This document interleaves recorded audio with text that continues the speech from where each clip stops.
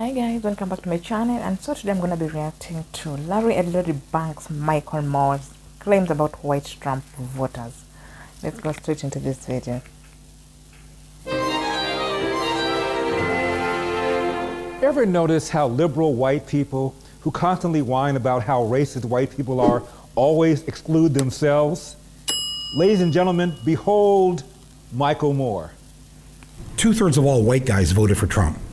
That means anytime you see three white guys walking at you down the street toward you, two of them voted for Trump. You need to move over to the other sidewalk because these are not good people Yeah. that are walking towards you. You should be afraid of them. I, we, you should be afraid of white Trump voters? Now, who does that sound like? You know, to just be grossly generalistic, you could put half of Trump's supporters into what I call the basket of deplorables. right? The racist, sexist, homophobic, xenophobic, Islamophobic, you name it. Okay, let's examine who should be afraid of whom. Let's look at black white interracial violent crime. Here are the facts. The Bureau of Justice Statistics released its 2018 survey of criminal victimization. According to the study, there were 593,598 interracial violent victimizations, excluding homicide, between blacks and whites last year including white on black and black on white attacks. Blacks committed 537,204 of these interracial felonies, or 90%, and whites committed 56,394 of them, or less than 10%. End of quote. Now, for young white men, the number one cause of preventable death is accidents, you know, like car accidents. For young black men, the number one cause of preventable death is homicide, almost always at the hands of another young black man. In 2018, here's what the CDC said Homicide was the 16th leading cause of death overall in the United States, the third leading cause of death for children aged 1 to 4, the fourth leading cause of death for children aged 5 to 14. Young, non Hispanic black males were disproportionately affected by homicide, which was the leading cause of death among non Hispanic black males aged. This is quite interesting.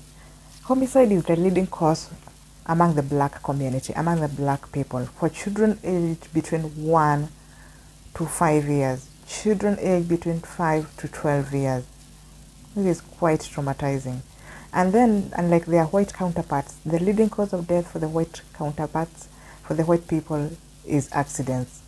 So you can see the larger portion, the larger figures come from the black people. Their leading cause of death is homicide. While for the white people, for their white counterparts, the leading cause of death is by caused by accidents. Quite, quite interesting. 15 to 34 years. End of quote. Now, who said this? There is nothing more painful to me at this stage in my life than to walk down the street and hear footsteps and start thinking about robbery. Then I look around and see someone white and feel relieved. We've got the power right now to stop killing each other. There is a code of silence based upon fear. Our silence is a sanctuary for killers and drug dealers. There must be a market revolt. The victim has to rise up. End of quote. The author of those two statements, Jesse Jackson, you know, the one on the right. Sadly, this Jacksonville, Florida newscast, all too common. The bodies of those three young men who were shot and killed last night are now here at the medical examiner's office awaiting autopsies. We looked at the statistics and we found that young African American men have a much greater risk of being killed in homicides than men their same age from different races. The crime tape, evidence markers, and bullet riddled cars. It is a scene that we have witnessed again and again. Liberal Fox News pundit Juan Williams. And I've been writing this and I feel this deeply in my heart. I wrote a book about this many years ago and took a lot of criticism. I understand that we are at a moment where people are very upset about the police activities. But you're right, it's on a daily basis. The carnage is black on black, typically young black male on young black male, and you don't hear the same outcry. Where is the civil rights movement on this issue? Juan Williams said the number one cause of preventable death for young black men was homicide. He got fact checked. Last year, PolitiFact found that 93% of murder victims were killed by someone who shares their race. Compared to other ethnicities, the numbers really stand out.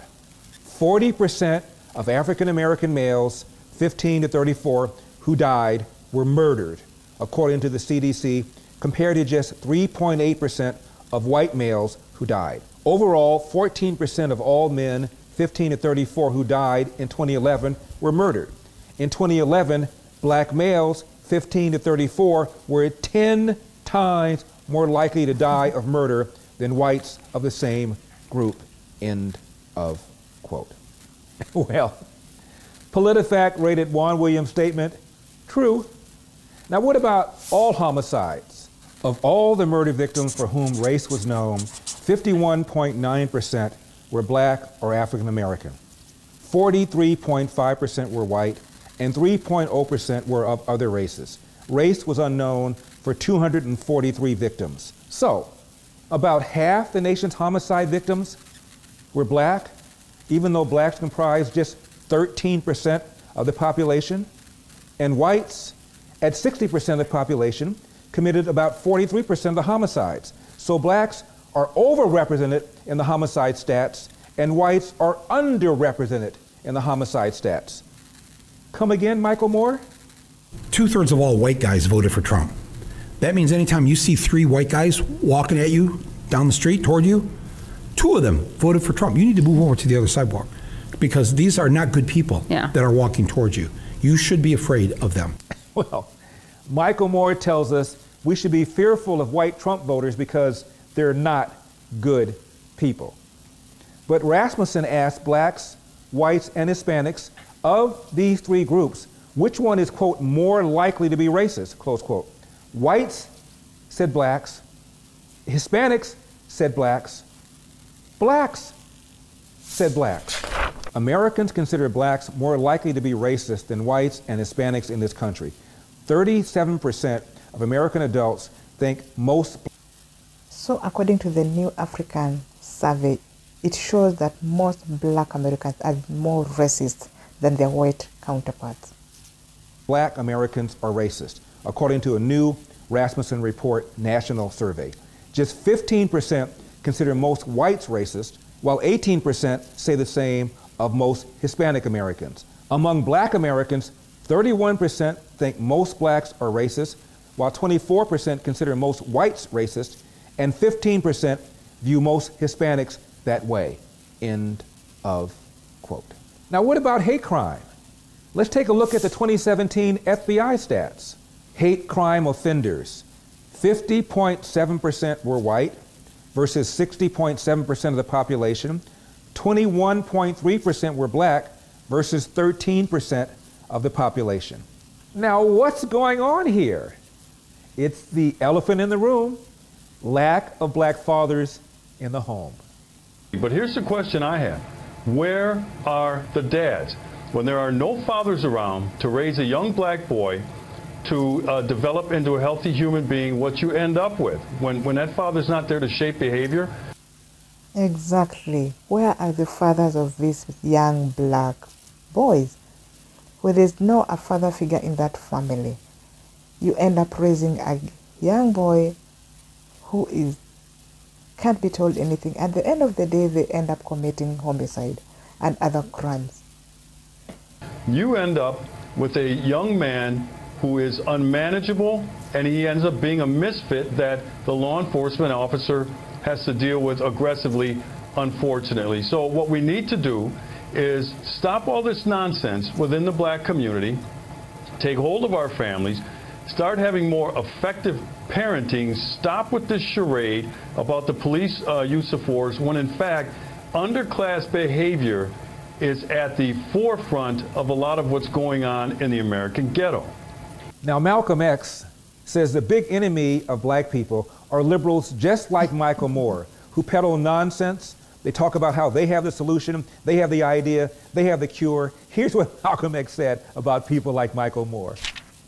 The worst enemy that the Negro have is this white man that runs around here drooling at the mouth, professing to love Negroes and calling himself a liberal. And it is following these white liberals that has perpetuated problems that Negroes have. If the Negro wasn't taken, tricked, or deceived by the white liberal, then Negroes would get together and solve our own problems. I only cite these things to show you that in America, the history of the white liberal has been nothing but a series of trickery designed to make Negroes think that the white liberal was going to solve our problems. Our problems will never be solved by the white man. End of quote. Finally, one more thing about our woke friend Michael Moore. He steadfastly insists he's not in the 1%. I, I need you to admit the bleeding obvious. I need you to sit here and say, I'm in the 1%. Because it's important well, I can't, because the I'm validity of your argument. You are that. No, I'm not. I'm not. You're I, not in the 1%? I'm, of course I'm not. How can I be in the 1%? Because you're worth millions. no, that's not true. That, listen, I do really well. I do well. But but but what's the what's the point though? Isn't I that because I find it more interesting if you're in the 1%, because I think Yeah, you probably are, yeah. you qualify, Right. that you are railing against a lot of capitalist ideals. Well, then, if you believe that about me, uh, then that's really something, isn't I'm it? asking if you that accept even that. even though that even though I do well, that I don't associate myself with those who do well. I am devoting my life to those who who have less and who've been who've been crapped upon by this system. Not part of the 1%. I mean, the man has a net worth of $50 million. Unfortunately, Michael Moore got divorced. Unfortunately, it gave us a glimpse into his opulent lifestyle. You know, the non 1% lifestyle. This $2 million home on Torch Lake is owned by filmmaker Michael Moore and his wife of 22 years, Kathleen Glynn. I am disappointed in what appears to me to be a conflict in his values and what he represents. But now the pair just settled a high profile divorce. In court filings, Moore had blamed his wife for going overboard in expanding the 10,000 square foot house, reportedly in the same neighborhood as Madonna and Bruce Willis. Hi, I'm Michael Moore. Ever since his 1989 documentary, Roger and Me, Do you think it's a little dangerous handing out guns in a bank? In other films like Bowling for Columbine and Fahrenheit 9 11, Moore had built a blue collar, anti capitalist image. I am one person. Uh, this is a, a movement of millions of voices. slamming the 1% at this Occupy Wall Street protest. The new court documents reveal Moore and his now ex wife shared properties in Michigan and New York. The Detroit News reports the couple owned nine total. No comment from her lawyer. And Moore's attorney would only uh-huh. say the couple has mutually and amicably reached a divorce settlement. Nine houses? Nine? well, in Michael Moore's defense, if a bad guy's out to get him, the bad guy won't know which of the nine houses Michael Moore's hiding out in. An anti capitalist capitalist can't be too safe, right? There we go, guys. You just heard it from Larry Elder himself, debunking Michael Moore's claims about white Trump voters. Wow. So Michael Moore owned nine houses. And in case a robber or someone wanted to find out or get rid of him, you couldn't know which kind of house, which house he's hiding from. Quite interesting. So, guys, thank you so much. Hope you would listen to Larry Elder debunking Michael Moore's claims about white Trump voters. So, let's see you next time for another exciting reaction. Bye.